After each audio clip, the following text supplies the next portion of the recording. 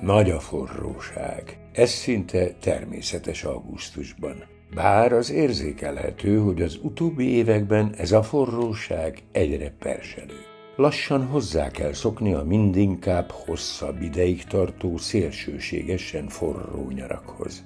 Ez a pokolian meleg időjárási tényező nem csak az ember számára jelent nehézséget. A vadnak ugyanúgy megterhelő, így természetes módon igyekszik megkeresni azokat a lehetőségeket és helyeket, amelyek pillanatnyi lehűlést eredményeznek.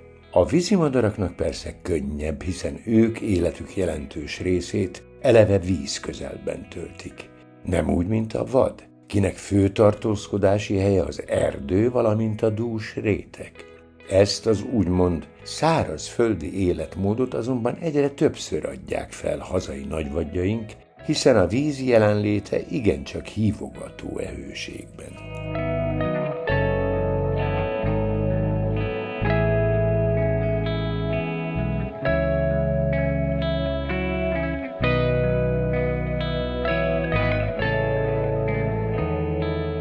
Szarvasok a parton, szarvasok a vízben. Ez a látvány tárul kameránk elé.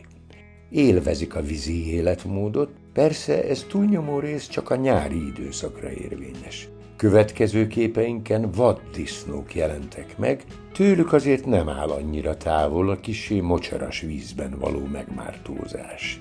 Bár tény, hogy ez a Dunai holtág jócskán túlméretes egy átlagos dagonyához képest.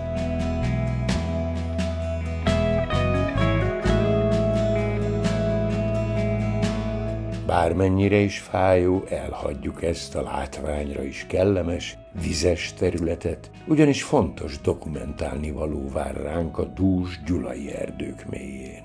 Lapátos nagyvadunk, vagyis a dámszarvas, immár méretes fejékkel járja az erdőt. Teljes pompájában tündökölnek az agancsok, azonban mintha valami nem stimmelne velük. Az eddig megszokott barkás borítás elkezdett leválni az agancs csontról. Így kissé lehangoló látványt nyújtanak a lapátos daliáink. De aggodalomra semmi ok. Ez is része annak a folyamatnak, melyben az évelei agancs kezdeményből kifejlett fejék lesz, melynek szerepe majd az októberi dámbarcogás időszakában értékelődik fel.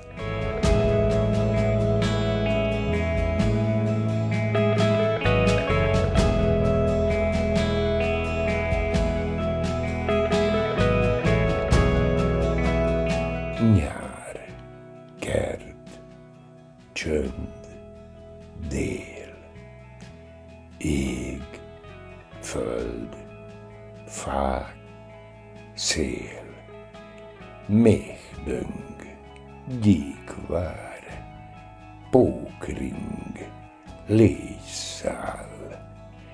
Jó itt, nincs más, csak a kis ház.